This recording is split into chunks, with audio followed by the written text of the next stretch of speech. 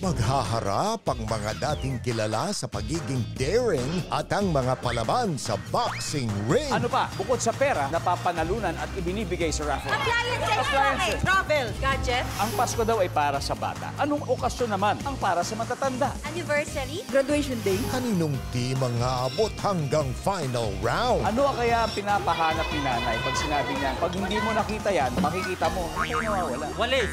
Susi. Family Feud, 5.40 p.m.